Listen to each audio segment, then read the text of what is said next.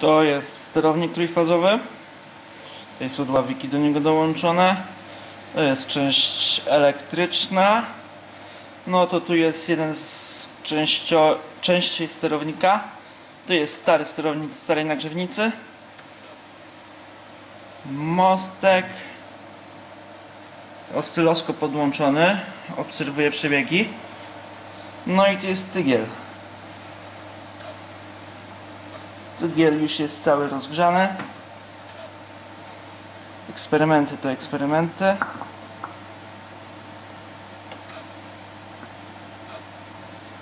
W środku jest aluminium. Było, albo jest jeszcze. Tygiel się bardzo ładnie rozgrzewa. Co tu mogę powiedzieć? Regulacja płynna dzięki temu mostkowi trysterowemu. Napięcie na wyjściu jest obserwowane na tym multimetrze. Mogę zmniejszyć, płynnie zwiększyć. Tak do 300 staram się nie przekraczać teraz, bo no, potrafię wyrzucić bezpieczniki. I topiące się przewody właśnie, o których mówiłem.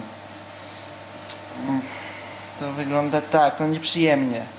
Ale póki co testy to są, więc mogą się potopić.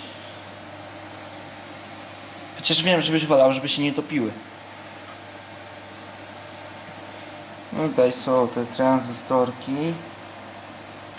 Złapiemy ostrość. Ha.